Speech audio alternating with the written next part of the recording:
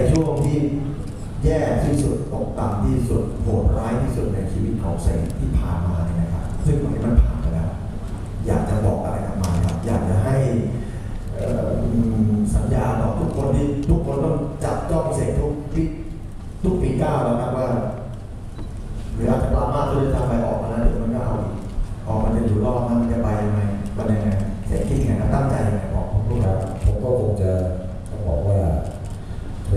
ที่สุดแล้วก็ก็คงแทนครอบครัวอยู่นะครับผมก็รักครอบครัวนะครับคิดว่าจะไม่กลับแนเขาครับอืมนะครับคำมั่นสัญญาของเสกว่าวันนี้เราเดินไปใหม่แล้วเสกไม่ได้เดินไปคนเดียวครับเพราะว่าแฟนเพลงของเสกจำนวนมากมายที่รอคอยสิ่งเหล่านี้ที่ทำให้ทุกอย่างกลับคืนสู่ภาวะปกติและรอคอยความสุขจากเสกและก็โลโซนะครับนะครับเอาละครับวันนี้เป็นทางการครั้งแรกที่เสก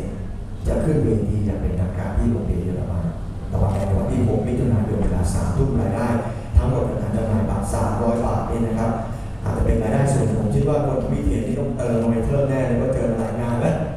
ก็จะไปบริจาคให้กับสถาบันทางการรักในวันนี้นี่นะครับเสกครับเตรียมอะไรในโชว์สำคัญครั้งแรกของเสกบ้างครับเป็นที่กับ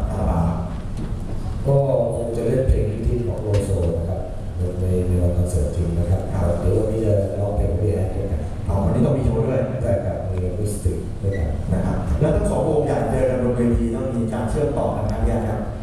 มีเล่นเล่นด้วยกันต้องเล่นด้วยกันด้วยนะฮะนะครับไม่ใช่ว่าเล่นวงนี้แล้วพาคนสองวงนี้เชื่อมต่อกันด้วยก็ถือว่าเป็นการดวลงานดนตรีบนเวทีที่โรงเรียนเยอรมันตะวันแดงแห่งนี้วันที่6เอ่อมิ